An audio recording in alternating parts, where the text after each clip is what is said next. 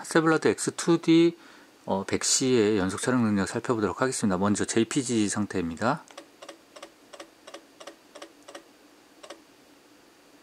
네, 일단 8매 촬영이 되고 어, 촬영이 늦어지는 버퍼로 인해 약간 늦어지는 모습 다시 촬영이 되기는 했습니다만 그런 모습 보여주고요. 오른쪽 하단에 원형으로 이렇게 어, 저장이 되고 있는 상태라는 것을 보여주고 있습니다. 14비트 설정에서는 초당 3.3매의 연속 촬영 능력을 가지고 있는 기종입니다.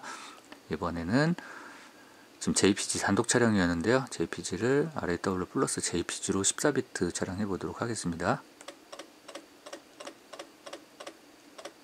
역시 마찬가지로 8매를 촬영하고 어, 촬영이 늦어졌는데요. JPG 촬영 같은 경우는 16비트 어, 14비트 설정에서 JPG가 60에서 90메가 정도 왔다 갔다 하고요.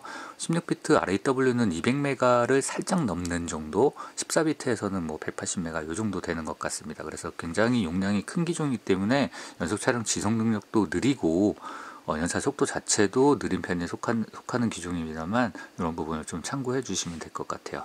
14비트 설정이었고요. 마지막으로 16비트 RAW와 JPG 촬영입니다.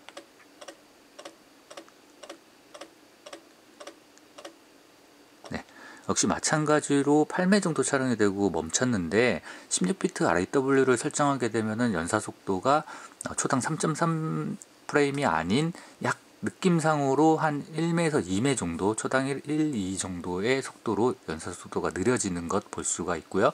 저장에서도 조금 더 시간이 소요된다는 점 참고로 하시면 될 것 같습니다. 전체적으로 연사 속도 느리고 지속 능력 없는 기종이지만 1억 화소의 어, 15 stop dynamic range를 지원하는 초고화질 기종이라는 점을 감안해 주시면 될 것 같습니다.